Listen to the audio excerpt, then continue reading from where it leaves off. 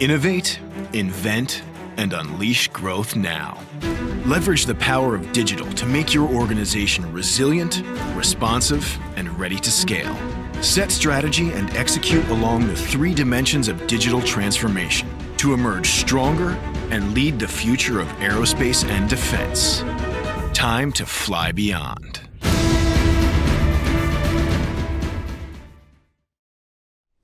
So, if you look five years ahead uh, for Airbus, how, how much will, will the company have changed?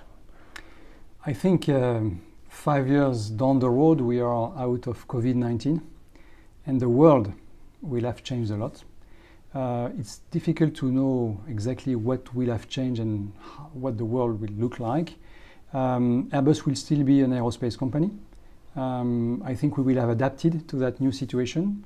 We will have invested in technologies to prepare the future, be it in defense, in space, and of course uh, in commercial aviation. So I think it's a lot about adaptation. The world is going faster and faster, and one of the skills that company really need to have is ability to change, to adapt. I think that's one of the skills of Airbus, and uh, we'll keep uh, having that in the very focus of the company.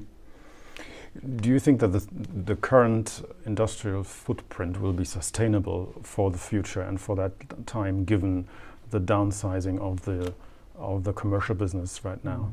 Well, we see a short-term downsizing that is very significant. Um, five years ahead, we'll be out of COVID-19. I think a very large share of the commercial aviation will have recovered. Maybe uh, will be even larger than what it was in 2019. So I anticipate that we will again have a very large commercial airplane business in, uh, in five years.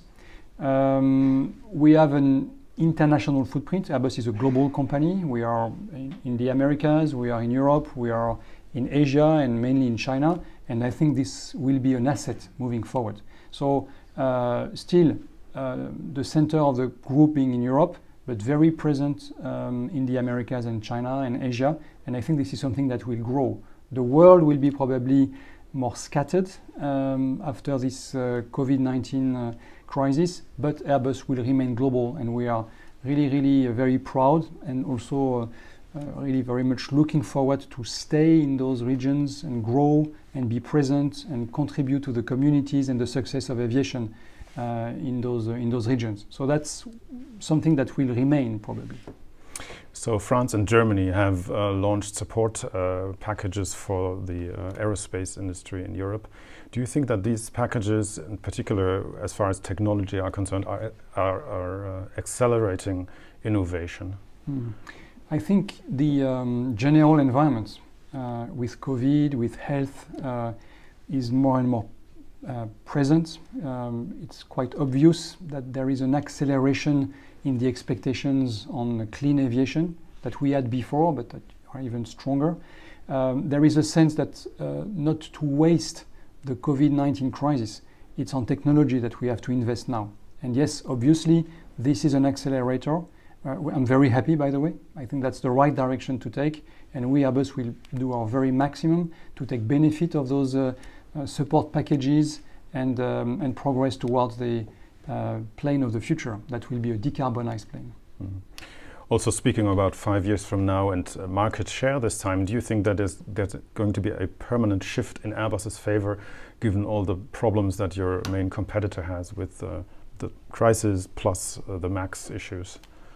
I think first, uh, everybody has a lot of problems to deal with given the uh, COVID 19 situation and, and, what it requires for aviation. we're not really looking at market shares in this very moment. We are looking at adapting ourselves um, with our customers to this very challenging situation.